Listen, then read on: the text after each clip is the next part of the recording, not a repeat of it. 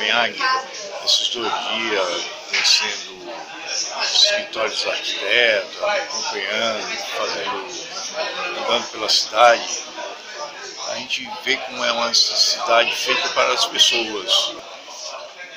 Eles têm um questionamento e perguntar, perguntar a necessidade de cada, de cada, de cada pessoa, de, de cada ambiente, de cada, de cada bairro.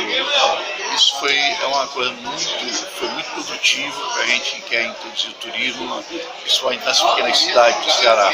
Saber o, que é que elas querem do, turismo cearense.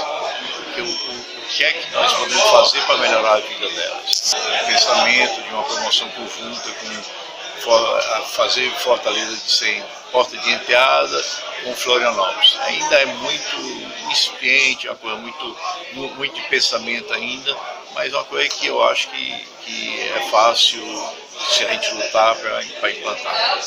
É muito importante a presença do Ceará é, aqui é, nesta missão é, onde nós estamos buscando, sem dúvida, trazer mais turistas para o Brasil, mas também trazer a experiência da organização das cidades aqui, é, na Dinamarca, em especial em Copenhague, para a humanização da nossa cidade, porque aqui se colocou é, o cidadão em primeiro lugar, o cidadão turista e o cidadão local. A cidade aqui está organizada para as pessoas. Essa cidade não era rica no passado, ela passou a ser rica também porque fez um projeto de desenvolvimento, captando empresas, captando negócios e muito turismo e muita qualidade de vida. Hoje, 55% das pessoas que moram aqui andam de bicicleta.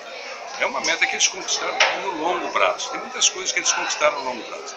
Nós não vamos conseguir fazer tudo no curto prazo, mas nós temos que fazer uma coisa já: mudar a direção. E mudar a direção significa ter a humildade de aprender as lições com aqueles que já sabem fazer, fazem bem feito.